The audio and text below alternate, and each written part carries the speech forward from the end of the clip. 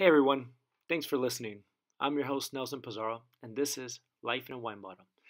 For today's episode, we have vineyard management. We have special guest David Drucker, and for me, I will say he's probably the go-to guy for anything you need within the vineyard, as in soil samples, managing the vineyard, if you had any leaf deficiencies, just to name a couple. So, if you have a vineyard and all of a sudden your leaves turn yellowish or reddish, or let's just say your vine just dies out of nowhere, well, Mr. Drucker is a man to talk to. He knows everything and he will point you to the right direction to help you out with your vineyard. Don't forget to subscribe on our YouTube channel or our iTunes, Spotify, Google Play, and like us follow, follow us on Instagram and Facebook at Life in a Wine Bottle. Let's give a quick shout out to our sponsors Castelli Family Vineyards, where you can taste the love of the wine. Follow and like them on Instagram at CastelliFV. Bespoke Maestro. They make elegant dresses and suits benefiting any occasion. Follow them on Instagram at Bespoke Maestro. Nutrien AG Solutions. Ensuring grower profitability by offering unparalleled access to innovation solutions recommended by your local experts. San Diego Wine Tasting App. Easy to use, free to download, fun to find a new winery in San Diego. Download the app today. Make sure you search for San Diego Wine Tasting App on the Apple Store and Play Store. So let's go with the first one. Uh, the background. Talk to us a little bit about your background. Okay. Well, thank you very much, Nelson. It's a great opportunity to chat with you. I actually kind of started in agriculture. Uh, I was born and raised in Fresno, California, so you can imagine we're right in the middle of uh, agriculture. Uh-huh. But my family wasn't really um, in agriculture except for my grandfather and my uncle.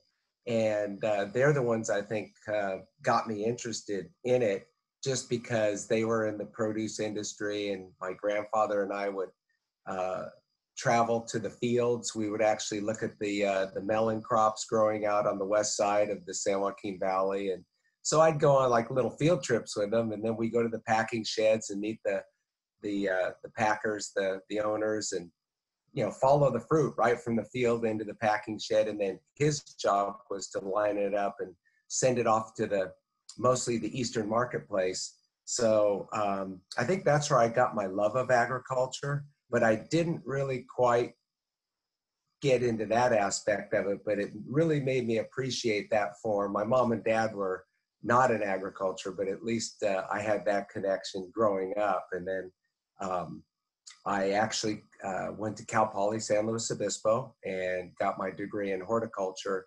And then from there, I uh, moved up to uh, Sonoma County and started my actual uh, career in in agriculture, working mainly with wine grapes. So that it goes way way back. wow, wow! And then um, so you you fell you fell in love because you had your grandfather and your uncle that I assume you look up to when you were young, and then you started going around with them and checking out different things. But what really made you get involved with fruits? Like, what was it that that kind of got you excited? Well, I think it was just the fact that uh, these folks were were were growing a crop and providing these wonderful um, these wonderful melons for the marketplace, and uh, really got appreciation for what it took. I think what else really helped was um, another thing that cemented it, and it was really uh, quite um, powerful actually. When I was, oh, probably, I don't know, 10, 11 years old, a good friend of ours had a, a grape vineyard. And, but they grew Thompson seedless for raisins. And they're a lot bigger. Those grapes are. Oh, yeah. Plus, they're huge. But I actually helped with harvest. Okay. And I really absolutely respected the role of the the farm labor mm-hmm. and just how important they are for the whole process. Mm-hmm. And to just see the work that those folks put in and I mean, it was it was tough. It was tough work out in the hot, dusty San Joaquin Valley, Yeah. um, doing bet. that. But I got to tell you, it really made me appreciate the role of farm labor and and what it takes to harvest these fruits and vegetables. Mhm. So that I think those all those things just started really playing on me like I want to be involved in agriculture. This is just Yeah. this is big. This is Yeah. really really powerful and and we have such a great opportunity to have a, a, a strong role. Yeah, yeah. And I'm glad you're able to find it at a young age because a lot of people kind of bounce around from careers to careers. And some of them end up staying in the same career that they really don't like, right? You're at least found something that you really enjoy and you keep on growing from it. So, and I'll tell, I'll tell a little story about us, how we kind of met. Um, one more thing, when, when you said, um, uh, what was the degree that you got in? Horticulture? Horticulture, Horticulture. degree in horticulture. What Cal is that specifically? Because I know a lot of people enough, don't know. Yeah. Okay. So, all right, folks. Really, um, I, I was in the School of Agriculture, uh, but the horticulture at, at the time they've they've since changed a little bit. Was mostly nursery and greenhouse and and some of the more ornamental applications.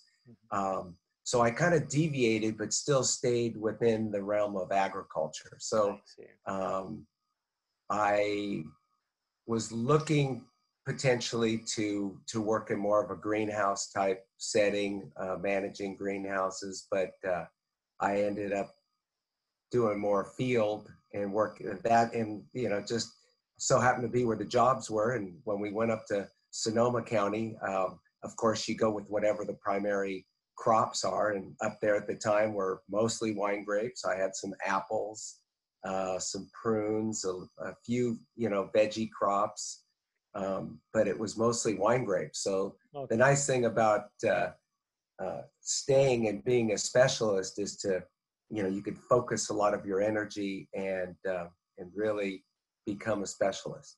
Okay, perfect. So that was actually another question that how you got involved in your field, and you just explained it perfectly. Um, and I know a lot of people don't know that. You know, agriculture is just so, so, so broad, and farming is so broad, right? But you're doing so much more than that. Um, well, I guess I'll I'll guess I'll go into. We met you, or Mike met you, which is my father-in-law. And just to let you know, he calls you David the Mother Drucker. Farmer. That's what he calls you. And I always start laughing. I'm like, who is this Mr. Drucker? Um, and I'm like, why do you call him that? He's like, oh, he just knows everything. He's like, you know, he just knows everything. I just call him the Mother Drucker. So I just start laughing. And just to let everybody know, your last name is Drucker.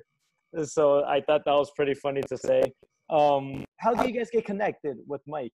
What, what, um, was it through Ramona? Yeah, I was. I, I um, that's where I think um, where the connection came. So um, basically, I have made a point of when I um, when I work in an industry, I go in with with both feet, and uh, and I like to be totally engaged. I like to be engaged not only with my work, but I like to be engaged with my community. I like to be engaged um, with the industry and the industry associations. So I believe it's just my my my industry associations with the uh, the wine grape growing associations throughout San Diego County. Um, they frequently ask me to give updates on what's going on. So you're you're you got involved with the you like to get involved with the community. You're in San Marcos, or what area are you at? Uh, yes. Okay. So, uh, just a little background in case folks are not familiar with Nutrien Ag Solutions. Uh, we can, you know, put it um, kind of fast forward.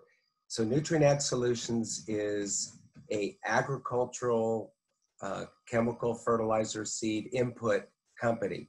Uh, because we're the largest in the country, we have amazing resources. And uh, as a result of that, uh, we have locations all over, well, really all over the world. Um, uh, I think like 900 locations in the United States. So, San Marcos, um, Temecula, Fallbrook, San Jacinto, and Anaheim make up our uh, Southern California locations. So we have a very uh, good footprint for distribution of our products and our services throughout Southern California. And as you can imagine, um, we're very strong as you go up the coast mm-hmm. throughout the major agricultural. A lot of farming, yes. A, a lot, a lot, lot of farming. So, so what's, what's your location where you start from and at? What um, do you go up to Temecula or? Yeah, so I I pretty much um, am in San Diego County, and I do go to Temecula as well. Um, I also have some um, some clients in Orange County, so I kind of dip into Orange County, mostly San Diego, and then Riverside in the Temecula area, and then we have other um, other folks that uh, that cover further into like the Coachella Valley and okay. and uh, obviously going towards uh, Yuma. Okay and then be as specific as you can. If somebody calls you, which obviously I've been referring a couple of people in our area, um, uh, specifically for vineyards, what do you do exactly for them? And I, and then I'll give you a little bit of how I see what you do from for us. So go ahead and give right. us your your, okay. kind of, your term or your title in there. Right. Perfect. Yeah. Okay. Thanks for asking because um, I am a licensed pest control advisor and a certified crop advisor. And what that means is the state of California, uh, California Environmental Protection Agency administers tests to individuals that can have a ag science degree and can pass these state mandated tests for proficiency in the areas that we work in. So, as a licensed pest control advisor, there's only a certain amount of us in the state that can legally give agricultural advice. So, it's really important to make sure you line up with people that are PCAs because it protects you, it protects the environment, and it protects, um, you know, everything. You know, all your all your investment. The fruit, yeah, the fruit. What What so, about how yeah. long is this this test? How long is the test? Is it something so that so you need to have a minimum of an ag science degree as well as some experience, and then it's uh, the state mandated test is a series of uh, uh, tests. I think there's seven categories. So once and depending on what you're doing in agriculture will pretty much determine which categories you need to use. So by having that, that gives me um, the ability to write written recommendations. So to get back to your question, when you call somebody like me, you get that backing up, um, as well as that certified crop advisor is a separate um, uh, test that allows me to give fertility recommendations and totally understand what it takes to grow the crop, not only try to manage insects, diseases, and uh, weeds, which the other license covers. Mm-hmm. So it really is a, a very well balanced kind of a, a, a, program, and it has oversight. So it's really good that there's, even though a lot of us don't like government intervention, and I, I get it, mm-hmm. but I also understand it's very important to make sure we protect our crop, our environment, and those around us, and have licensed professionals providing that uh, those recommendations and uh, and and that uh, that kind of feedback. So yeah. so when you call somebody like myself, um, we provide services as well as products. So I could provide um, you know soil and tissue analysis. We could do water analysis to check for irrigation suitability. A lot of people want to know if their if their well is going to be you know good enough for uh, irrigating agricultural crops. Um, we also uh, can take uh, samples into the laboratory and test for nutrients, and that's what we've done with you. And then after we get that, we put uh, basically a prescription together and create a fertility program that's going to match the um, uh, the soils and the tissues that your plant has. And we want to maximize your um, uh, your your yield potential and and just what you're looking looking to do. Mm-hmm. Yeah. So for us, and just to give the listeners a little bit of background, usually, uh, if if you own a vineyard, so let's just say, oh, not just a vineyard. Let's just say most people have roses, or they try to do a garden, and you know you grow it, you start growing the the vegetable or the fruit, and then all of a sudden, there's a leaf that's yellow. There's a couple of dots on the leaf. There's something eating the leaf and the fruit and for us, we go to you. We take a picture and we just say, Hey, David, what do you think? And I'm just kind of giving the viewers a little insight of hopefully they can visualize this that I'll take, I'll go through a vineyard and something turns orange for some reason, or there's something eating the, the leaves. And if I don't know, I for sure will contact you and you give us the input. You say, well, I, you know, I'm 90% sure it's this. Um, and also the other part that I like to put is there's a website that you told us to go to. And I would like to make sure the, the listeners hear this website. Do you happen to know it by the top of your head? The, the, yes. The, so it is a great, uh, it's, it's a great reference. it's the uh, University of California Integrated Pest Management website. So it's UCIPM. And when you click on that, uh, it's a it's uh, it's a very very big and involved uh, website. So you want to click on agriculture because there's also a section uh, for homeowners. Click on agriculture, then click on your crop that you're growing. So then you click on wine grapes, and there you will find a wealth of information. Um, I've been a huge um, proponent of the UC IPM website and the farm advisors and all of the researchers throughout the University of California system that have provided input uh, to this website because it's it's tremendous. Um, yeah, yeah. I mean, a lot of things. Yeah. Yeah, it, it's ex- like you're saying. It's um. Well, I I want to make sure that listeners don't get confused from just going to a website, seeing the picture of you know certain bug, and thinking that's all it's going to be and you're just going to find the the solution you know they have to go through you to make sure they they do the right thing right because you could spray the wrong product and you could you know remove the bug but also you could remove the fruit as well within not knowing what to do so uh, there's a fine line of getting so much information from the internet and and and doing the surgery afterwards, right? Like a doctor, oh yeah, I can fix a, a broken arm, but are you going to fix it correctly if you're not a doctor, right? If you see YouTube videos and all that. So I think we got to be careful that the listeners they just don't think that's uh, it's just another option. They can see it, then you get advice by yourself, and then they can do the, the procedures that you recommend, which is what we do. That's why I'm bringing that up. You will always tell me, hey, I think it's this. Go check the website. I check the website I say, hey, it's looking like either A or B. And then you say, if it's A or B, we can go this route. And then we can use this certain product that you think it's going to work. And then we go that route. So I like the listeners to understand that because obviously this is specifically for taking care of your vineyard for us, not for uh, like different types of fruit, just a vineyard for us.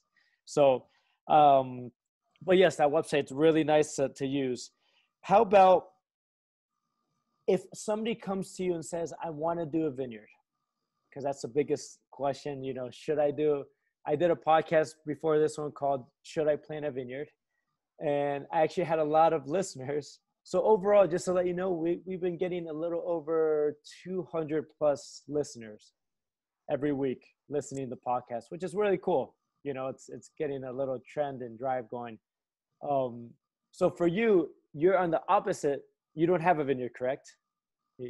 That's correct. Okay, yeah, so David doesn't have a vineyard, but when somebody comes to you, hey, I just purchased a vineyard, or um, I need some help with the vineyard. What what are the procedures? What are the steps that you you tell your customers? Good, good question, Nelson. I got to tell you, um, I get. I guess I'll tell you the best thing to do if you're looking at a piece of ground that doesn't have a vineyard, you want to put a vineyard in that's a good we one. We really need to test the soil. We have to test the soil because we need to know what is in it. The other important thing is once we get those results, then we need to ask um, the question is, what do we want to do prior to planting? Now, my experience has been it's you want to get the results and then you want to amend the soil so you have optimum levels of nutrients so when you do put in your plants they will grow and they will they will flourish so i really really am a, I'm a huge believer of uh, of amending the soil appropriately um, i can't tell you how many times people just thought it'd be so great to plant vines and they got the hardware they got the plants and they stuck them in the ground and they couldn't understand why the plants weren't growing that well because they never amended the soil. They never did anything. They just thought, you know, grapevines will grow anywhere.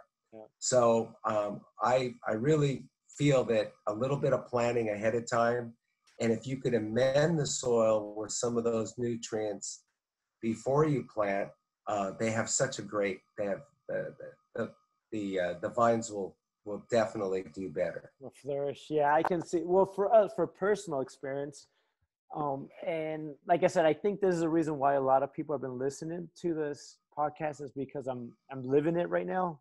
You know, I'm physically doing what we're saying. So we actually have one little part of the vineyard. I will say a hundred vines, and that specific part, the vines aren't doing so good. But we didn't take I think that little section was where the trucks used to turn around when it was empty and dirt. So everything was getting compacted in that little section. They were throwing a lot of things down. So I, I think the nutrients were getting out from the ground somehow. And it's just one little section.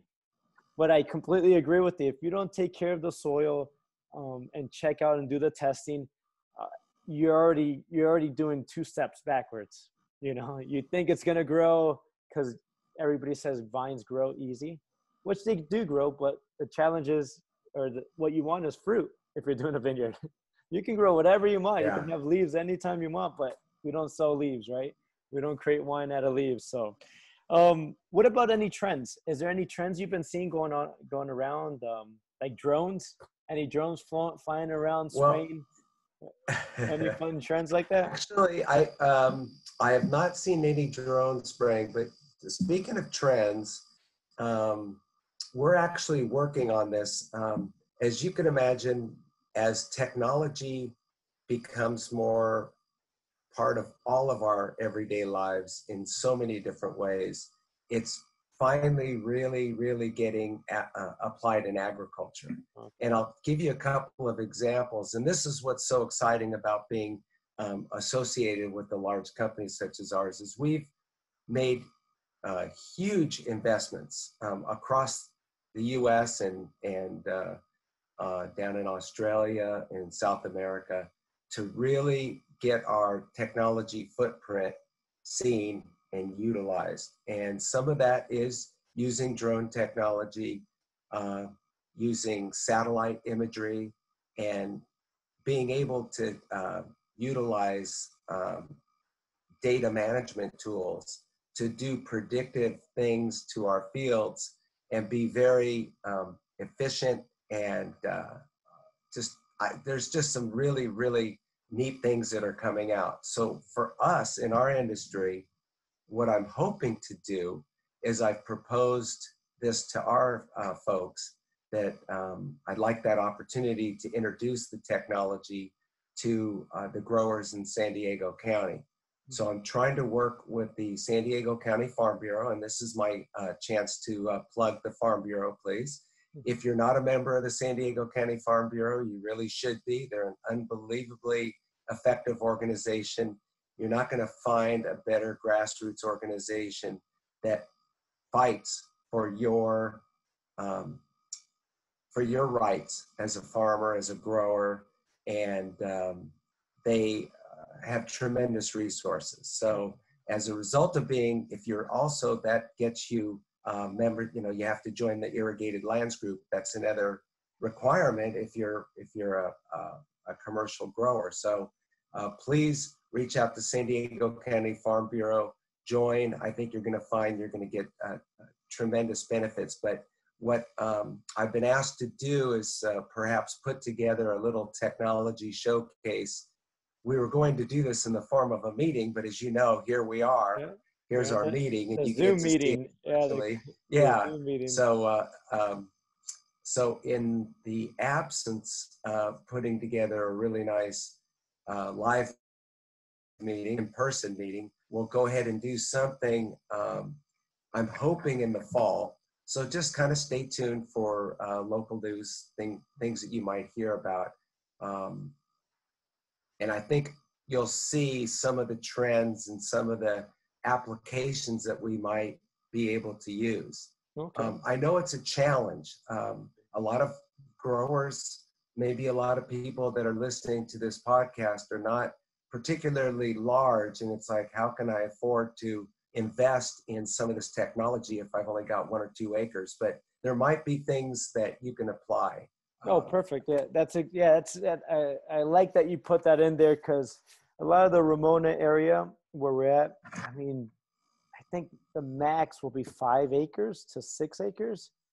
You know, and then you're going as little as as vines itself 100 200 vines you know so it's it's a big influx for us.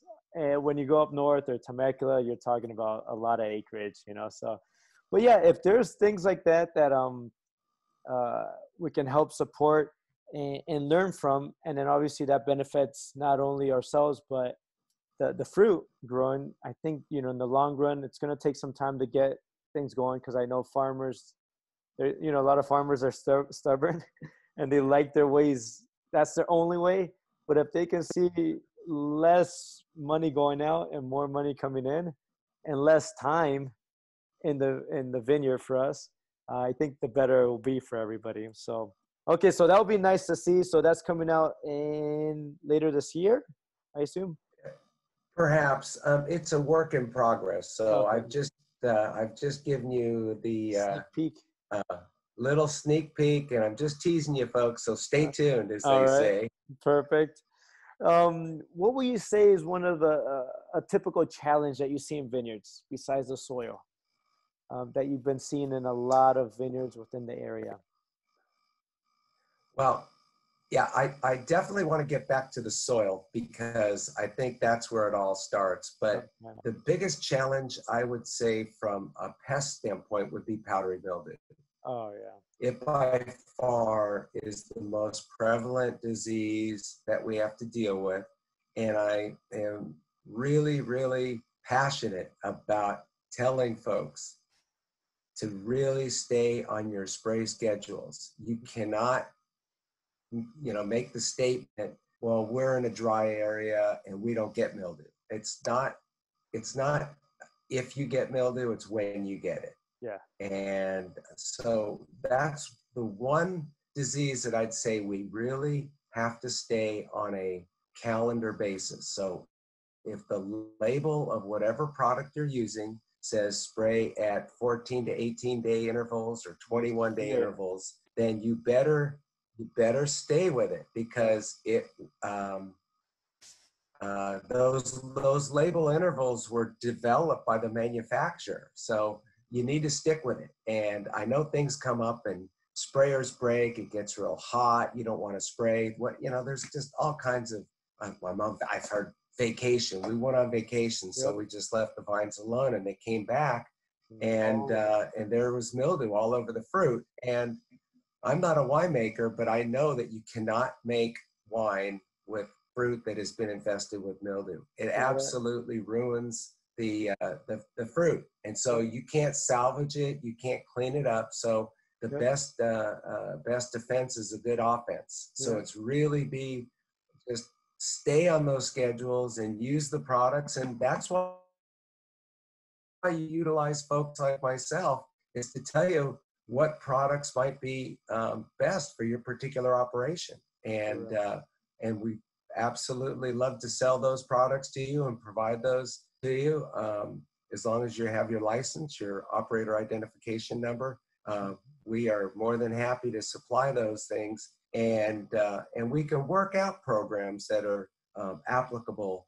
for you and and and what your goals are. You know, we have some folks that um, really want to go more on, in the organic arena. We can do that. Uh, you want to go uh, lower inputs or just you know there's just uh, there's a whole myriad of products that we can um, we can block for uh, a mildew program mm-hmm, mm-hmm. that's perfect and that's good little shout out to Nutrien ag right or agriculture how what's the name specific name of the company and the website uh, we're actually called um, right right we're actually called Nutrien ag solutions so, so nutrient yeah nutrient yeah, N U T R I E N, Nutrien Ag Solutions. Uh-huh. Yeah. So that is our company. Our, we're um, we're basically the, I guess the one of the arms because the company is involved in uh,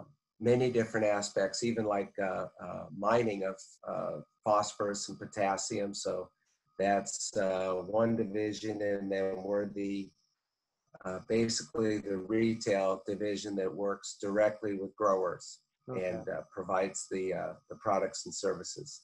Nice. All right, we just finished off with part one, vineyard management. We had some great information from David. Make sure you tune in next week to part two, where we discuss um, how to prevent some of the issues that we find in the vineyard and also some successful stories that he had from a vineyard using his services.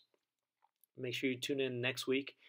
Also, I appreciate all the sponsors Castelli Family Vineyards, Bespoke Maestro, San Diego Wine Tasting App, and Nutrien Ag Solutions. Check those out too and follow them on Facebook and Instagram. I'm your host, Nelson Pizarro. This is Life in a Wine Bottle, and we'll see you next time. Thank you.